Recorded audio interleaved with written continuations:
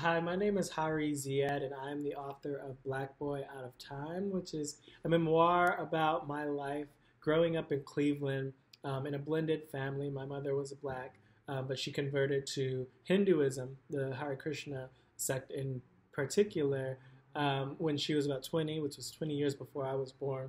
And my father was a, a black Muslim who um, came to Islam through the Nation of Islam. Um, and I was raised mostly Hindu in a family with 19 siblings um, altogether. Sorry, I have 18 siblings, but there are 19 of us. Um, and I am the only queer person that we know of. And so this is a story about what it means to make sense of your identity in a world um, that polices identity very strictly um, and where that policing um, even in a family that you know pushes pushes the boundaries of what is acceptable in terms of how we can live, might internalize policing. Um, and I try to connect the um, idea of interpersonal policing to um, the the larger system of policing and prisons in this country. I'm a prison and police abolitionist, which means that I believe in a world where um, communities can solve problems amongst themselves um, without prisons and police, which is a very, I know, shocking idea to people who might not have heard of it. But I use these stories to show how a lot of us have already been doing that. Uh, in our communities, and some by necessity, especially Black people who don't necessarily have the option to call the police without risking their lives. Um, and, and a lot because we know that the ways that we engage people when we love them, when we care for them, um, the ways that we try to solve problems um, are, usually much healthier than when we just call an outside state that has no investment in our, our personal lives. Um, and so I use these stories of of my grandmother in particular, who struggled with bipolar disorder through much of my life until she passed away when I was about 14, um, and how my mother engaged in a lot of her mental health crises um, that would sometimes get pretty serious, pretty violent, um, and how that demonstrated the care that she showed my mother, demonstrated how we can uh, use those same um, that same care amongst each other. Uh, but I also am wrestling with how my mother and, and my relationship was impacted by her policing of my gender. And so trying to use the same tools that I learned from her engagement with her mother within my relationship to her has been a journey in and of itself. Um, and it's been a very healing journey. I think that prison and police abolition is centrally about healing. It's about how we become um, healthier people in, regards to how we deal with our trauma, um, how we um, actually deal with trauma instead of pushing it off to other people, instead of pushing it off to the state. Um, and so I talk about what it was like to, to learn these lessons over the course of my life, um, which eventually brought me to New York. Um, where I got involved with a, a, bunch of activism here around the times that um, the Ferguson protests came uh, to fruition.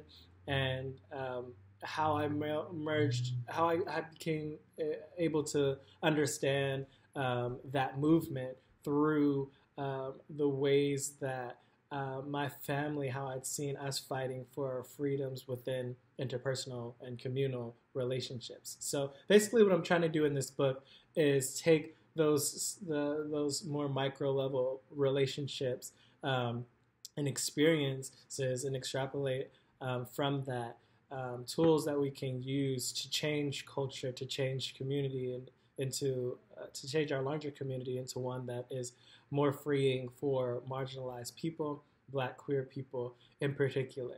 So I wrote this book um, in two alternating parts. Um, half of the book is written in epistolary form to my younger self. Um, and I did that because uh, as I was writing this book, I um, was also in um, cognitive behavioral therapy um, because a lot of things were coming up, as you can imagine. I was talking about serious issues. Um, my mother was also dying at the time. She was diagnosed with terminal cancer um, right when I started this book, and so trying to engage with um, that relationship and, and, a lot of the hurt and the pain that came from some unresolved things in that relationship uh, really brought up a lot. And so in therapy, my uh, my therapist offered um, this tool called inner child work, which is uh, a process where you engage with a younger um, version of yourself um, and you can talk to them directly. There are different ways to engage in inner child work, but basically it's recognizing that there are parts of yourself that still operate from that position um, of, as a child. Um, and a lot of times when we've gone through childhood trauma, those parts of ourselves are kind of disconnected from us. Um, and so we might react to, say, your mother. Um, uh, you know, missing your call um, from you know that uh, from that child who might not have gotten that attention from your mother, and, and you uh, if you haven't done this work or um, you can do it outside of inner child work, but I think inner child work helps you to realize that that's this is where this anger is stemming from. Um, and so a lot of what was coming up stemmed from a lot of the childhood trauma that was unresolved, and inner child work helped me reconnect with those parts of myself that um, that I wasn't listening to, that I wasn't engaging with, that I wasn't responding to when that part of me needed something.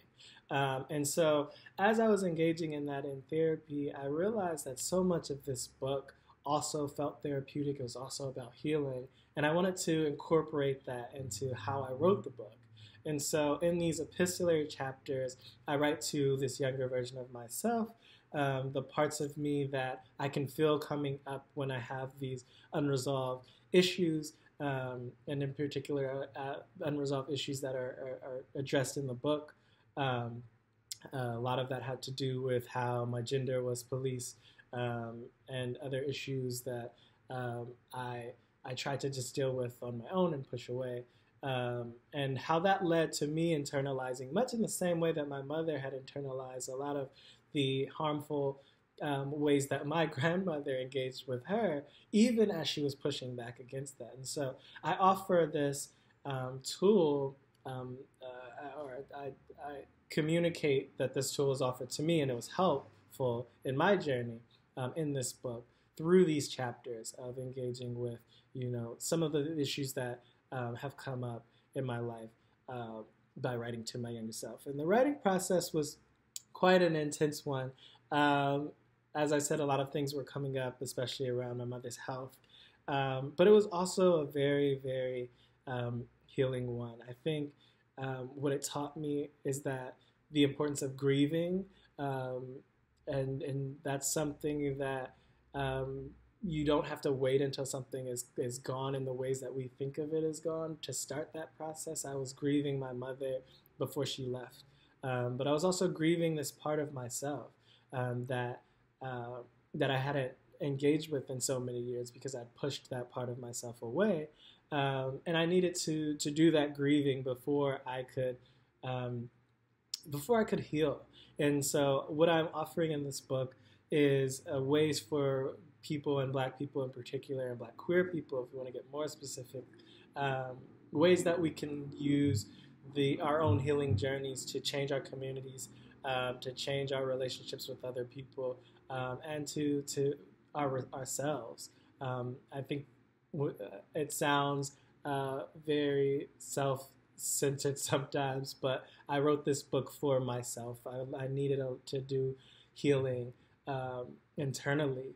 Um, and I think that it's really helpful to offer these processes that we might do within ourselves, within our communities to other people without losing sight of um, the work that we need to do. Um, and so I hope that there's a lot that other folks can gain from this work. Um, and so far, I've been getting really great responses um, towards that. But uh, ultimately, I think that that was only possible because of the work that I was doing with myself. Um, so yeah, the book is Black Boy Out of Time. Um, it's available online wherever you buy books, and um, you can find more about me and the book um, at my website hariziyad.com, or you can follow me on socials at hariziyad. Um, and I can't wait to hear um, the kind of healing work that you're able to do with this book. Um, I hope you're, you're, you enjoy um, the work that uh, the the, stories that are told, um, and learn a little bit about what this experience um, and this little life of mine was like. And thank you so much for listening, and Lakewood Library for having me be a part of the series.